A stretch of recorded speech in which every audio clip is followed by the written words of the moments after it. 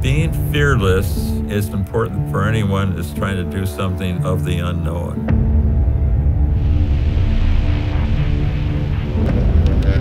When I started to lose my eyesight, I honed myself to run across Death Valley. It's not so hard physically. What it's really hard is mentally.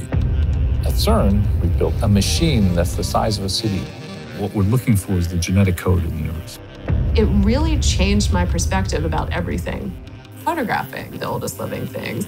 I thought, what if I retraced the route the first human beings who, who walked out of Africa about 20,000 plus miles on foot?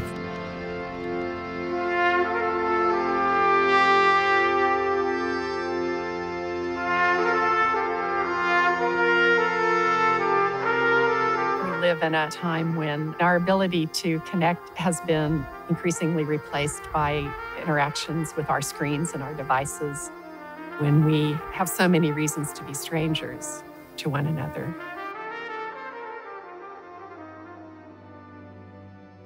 We share appreciation for slowing down and seeing the invisible. I like to think about the people that came way before my own passing through their echoes are still here as well.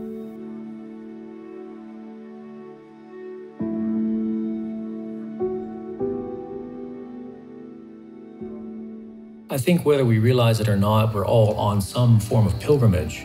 This whole place, this chaotic, heartbreaking, maddening, beautiful, ecstatic place is yours, belongs to you.